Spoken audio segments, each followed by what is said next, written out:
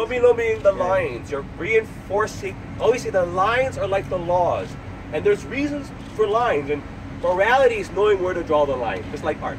So, Yeah. so there's so much to say about understanding. You're always drawing the lines, right? Yeah, yeah. And then so time- sometimes when we tell kids, we do projects, I say, kids, stay, draw inside the lines. You know, There's- but if you have to draw outside the lines, know why. You know, you know, you know, stay within the law. But if there's a dumb law, challenge it.